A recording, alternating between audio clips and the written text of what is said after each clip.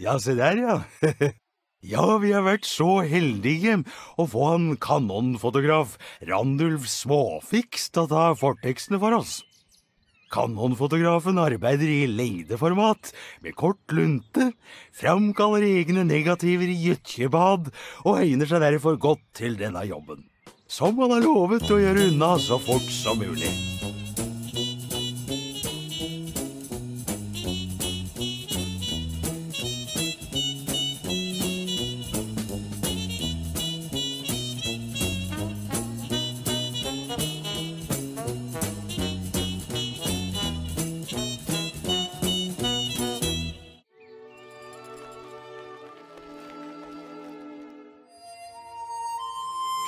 37 mil nordover, litt øst og oppover, ligger Flåklypa, ei lita fjellbygd under himmelhvelvingen.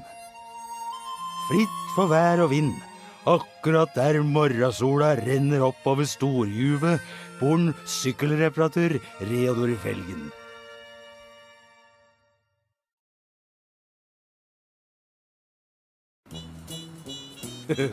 Sant å si er det bare postbudet, den uheldige fotgjenger Gudleik Knotten, som finner veien opp hit med lokalavisa og ubetalte regninger. Knotten bærer frakk med stoppdekkmønster, er aktiv fargeblind og er overkjørt en rekke ganger. Stort mer er ikke å si om han Gudleik Knotten. Her, oppe på Flåklypatoppen, bor Redor sammen med sine to gode venner. Optimisten, morrafuglen og alltid entusiastiske Solan Gundersen. Og den nå mer saktmodige Ludvig, pessimisten med angst for store forandringer. Hei. Er ikke sikker, men har jeg møtt deg før? Ja? Ludvig har dessuten utprega høystue. ja, så er det opp til deg, da, du som sitter her foran skjermen, og hjelpe til med historien vår. Du kan spille mange forskjellige spill som gir deg poeng, og dem kan du bruke til å bygge racerbilen Il Tempo Gigante. Når du har bygget ferdigdoningen, helt eller delvis, ja, da vil du denne gangen få oppleve å sjøl sitte bak rattet. Om du vil, finnes det masser av andre utfordringer som gir poeng, både for å få bildeler eller øke poengsamlinga di. Mer sier ikke jeg. Lykke til. Du er kanskje snill å hente posten til meg, du, Ludvig. Ja, klart jeg skal gjøre det, Reodor.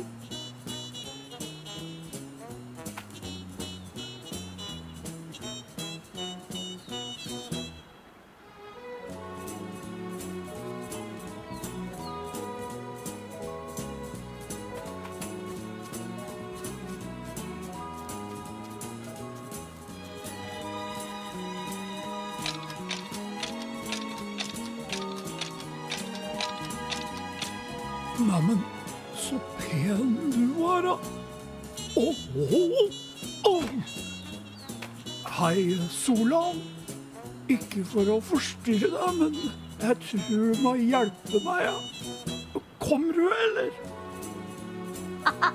Ja da, ja da, jeg kommer. Solan Gundersen fra Rustadsaga iler til unnsetning. Hva er det du driver med, Ludvig? Jeg datt rett på rumpa, jeg, Solan. Sånn, ja. Nå greier du deg sikkert sjøl. Takk, Solan. Jeg skal hente posten for deg.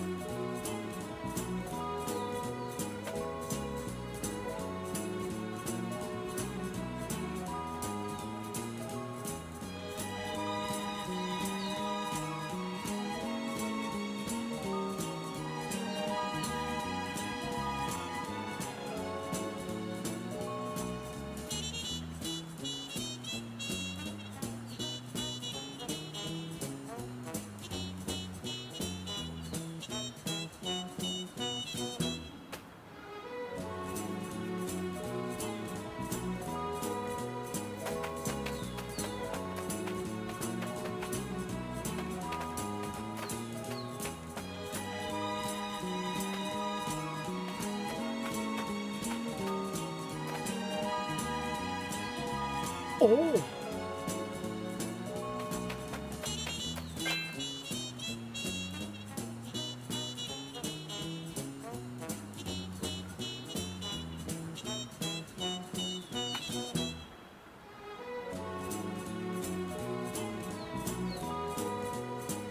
Jeg får vel prøve, da, men det går nok galt.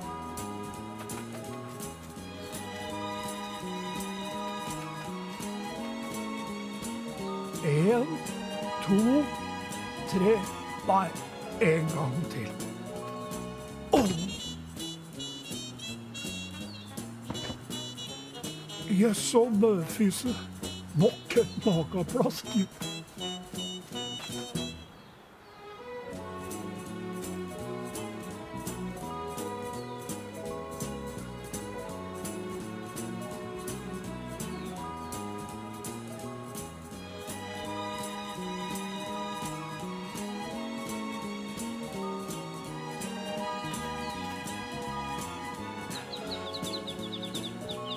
Neimen, så søte dere var, da.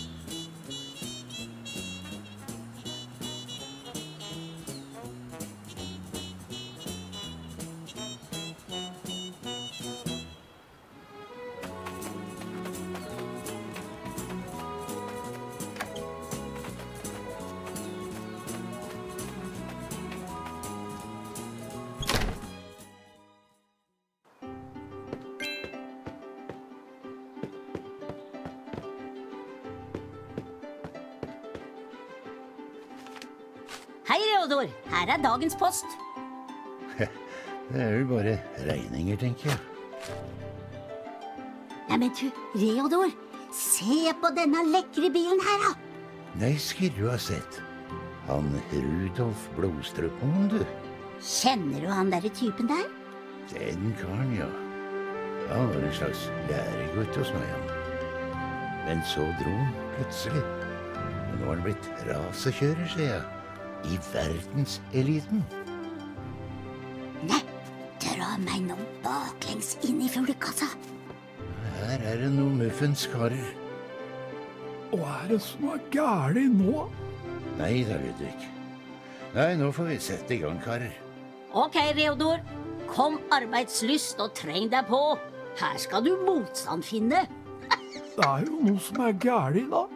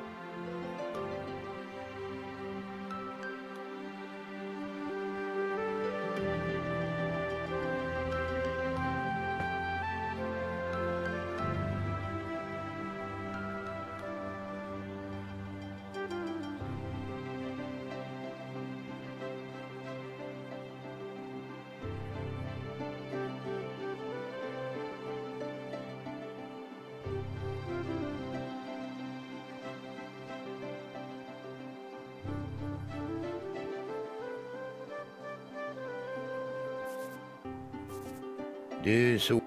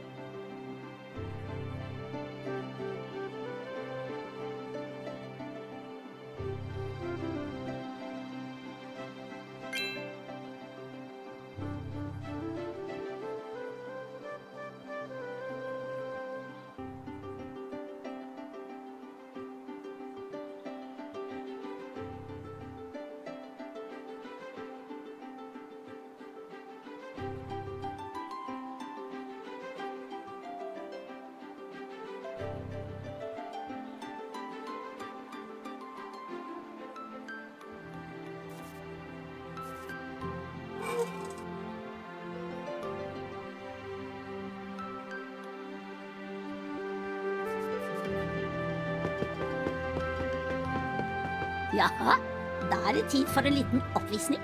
Midt på morgenkvisten.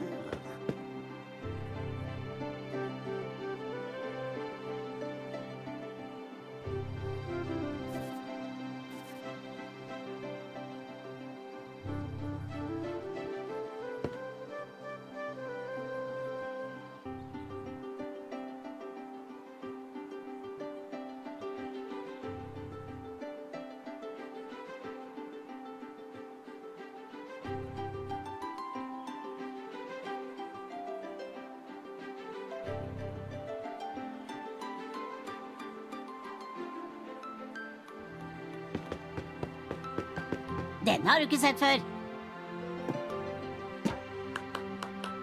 Takk, takk. Takker så meget.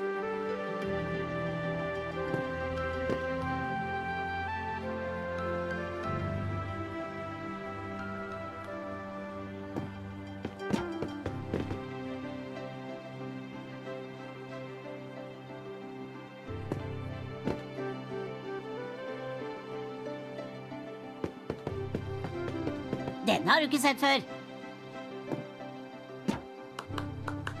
Takk, takk. Takker så meget.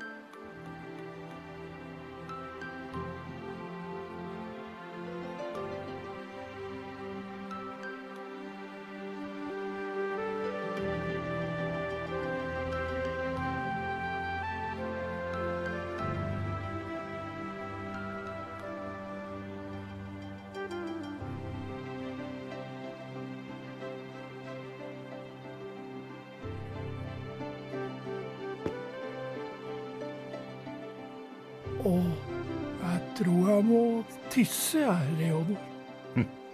Ja, bare sett i gang du, Ludvig. Du veit jo hvor du skal. Oi, oi, nå er det like før.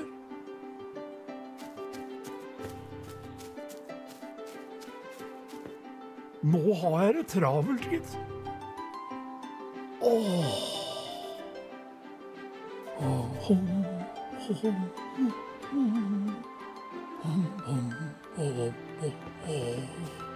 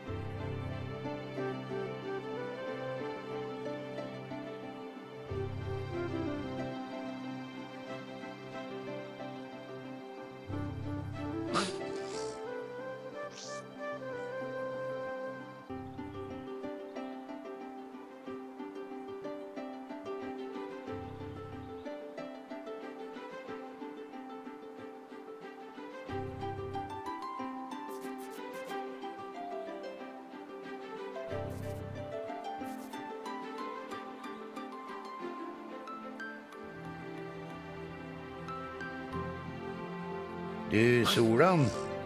Er du snill å gå ut og slå på generatoren opp på taket?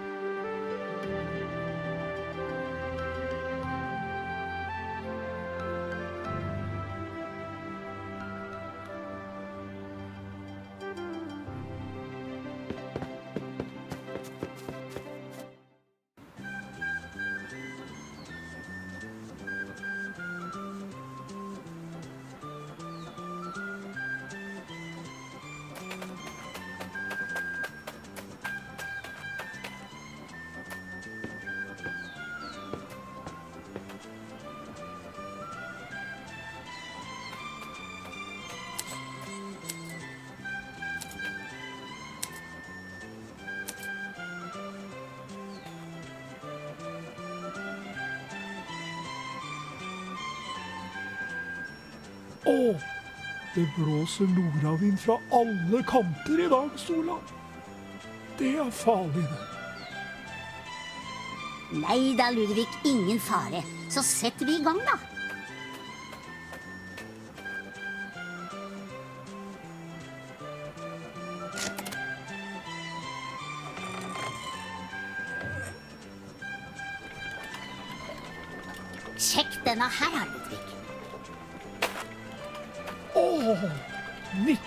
19,5 i 20. Å, blir jammen tørst av dette også, eget. Og ta deg en slurk fra stampen borte ved postkassa, da vel.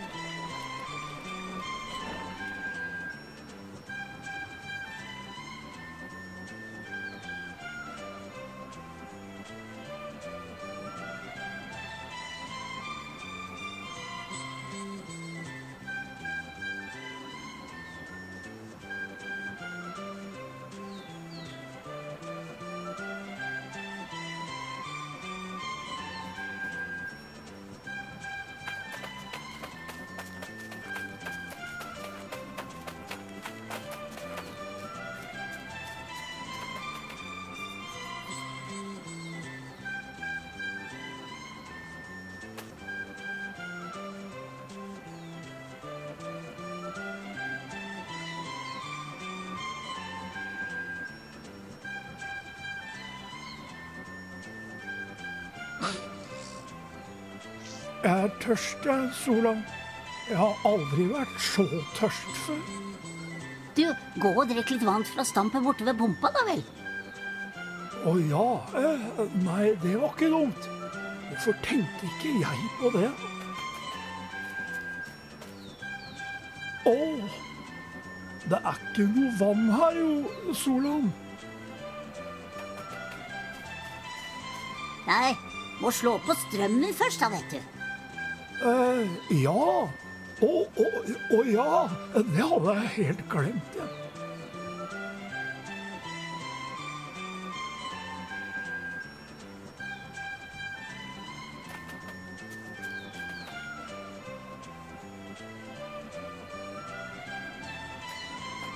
Oi, oi. Jøss og møfise, den var ikke god. Ja, Men du veit jo at vi må løfte vektene på plass først. Jeg skal gjøre det for deg, jeg, Ludvig.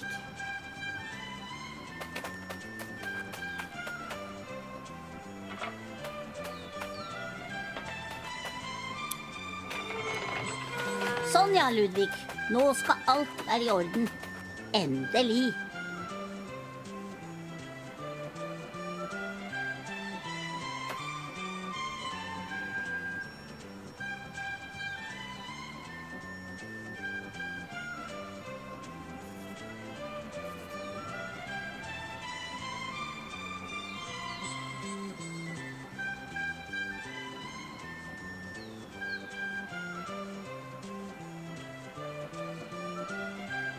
Ikke så tørst lenger, jeg, Solan. Men kom igjen da, Ludvig. Det er trygt nå. Jeg har fiksa den, sier jeg jo. Ja vel, da, når du sier det så. Å, det skal smake så godt, altså.